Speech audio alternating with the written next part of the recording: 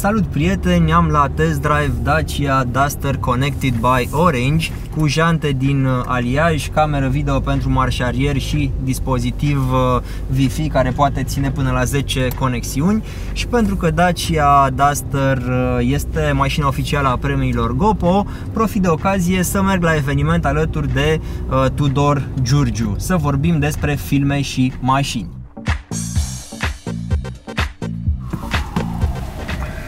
Salut Tudor! După cum bine știți, uh, Tudor Giurgiu este uh, cunoscut regizor și producător român. Uh, dacă toți suntem într-o mașină, Tudor, ia zine cum apar mașinile în filme?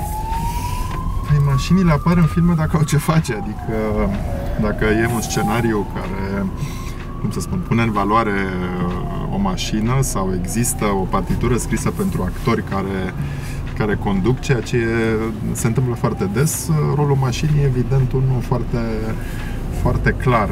Din păcate sunt prea puține scenarii în România în care mașina are, cum să spun, uh, roluri în sine, cu personalitate, cum știu, au fost seriile alea de filme franțuzești, Taxi sau altele, dar poate că în timp. Dar pentru că vorbim de film românesc, Dacia e, cum să spun, întruchiparea uh, cea mai clară, evidentă de, de a spiritului românesc și foarte multe personaje în filme românești, dacă te uiți, conduc Dacia. Și e un fel de, nu știu, e un naționalism gratuit acesta că apar mașinile Dacia în filme sau chiar dă bine pentru un film românesc să apară o Dacia în film? Eu cred că întotdeauna discuția pornește de la uh, să-ți cunoști personajul. Ce mănâncă, uh, ce haine are, cu ce se îmbracă, cum îi arată casa și ce mașină conduce. Spune foarte mult despre personajul în sine. Deci cred că alegerile scenaristului și a regizorului vin în primul rând de la faptul că uh, sigur, uh, pot să conducă eroii din filme tipuri diferite de daci și asta iară spune foarte multe despre statutul social, despre, despre pasiuni, preocupări. Deci cred că e alegerea mașinii, cam viață, de fapt, spune foarte mult despre, despre omul care conduce mașina. Față de acum 10 ani, uh, senzația mea este că filmul românesc a progresat. Dar uh, cred că tu poți să spui mai bine unde suntem acum și ce trebuie să facem sau să mai facem.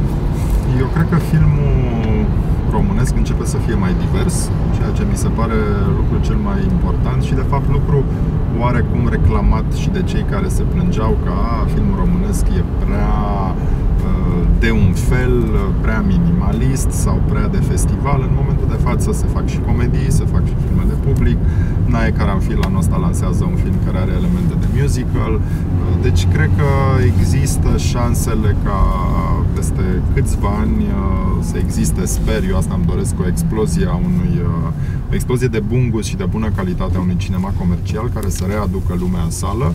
În același timp însă, dacă vedem filmul de autor, filmul care aduce prestigiu cinemaului românesc și premii străinătate, continuă la o cotă foarte înaltă. Deci cred că stăm foarte bine și suntem respectați și apreciați în toată lumea. Atunci dacă stăm bine cu filmele, eu am un, un element care mă intrigă.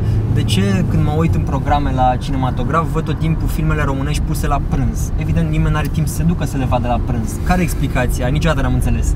Păi îți spun de ce. Dacă te duci la moluri, uh, există în continuare o percepție, așa, un fel de, de, ce să zic eu, de preconcepție că filmul românesc nu aduce spectatori. Ceea ce, dacă mă întreb, eu cred că e un pic fals. Și uh, tocmai pentru că nu ni se dau suficient de multe șanse, filmele, cam după un weekend așa, ajung să fie exilate la orele pe care spui.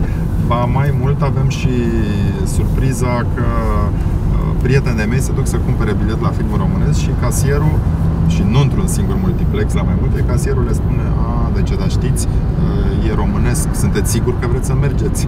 Deci, asta Serios? Se, Există asta, așa ceva? Da, asta mi se pare ireal și nu li s-a întâmplat unui om sau la, mulți pățesc chestia asta. Tudor, am ajuns și la gală, așa că ne luăm la revedere acum. Eu mă duc să parchez pe tine de las aici și okay. ne revedem în sală. Mersi mult de tot.